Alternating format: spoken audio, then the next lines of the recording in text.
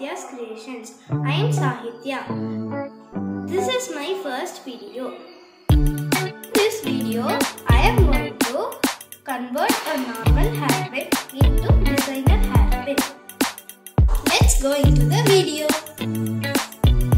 Materials needed for this craft are a scissor, a pencil, a bead, a hairpin, a sellotape, yellow and black woolen thread, hot glue gun and